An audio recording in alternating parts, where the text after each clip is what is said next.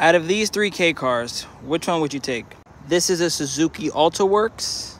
This is a Suzuki Cappuccino. And this is a Subaru Vivio. This guy's front wheel drive turbo, rear wheel drive turbo, front wheel drive supercharged.